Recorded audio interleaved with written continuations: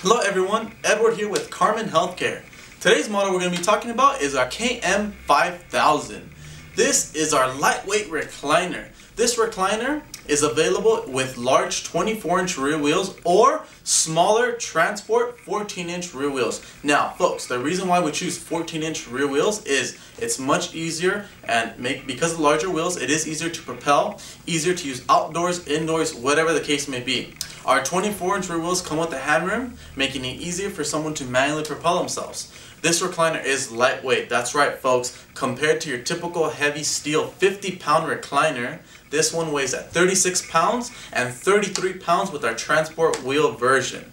This recliner comes standard folks with elevating leg rest.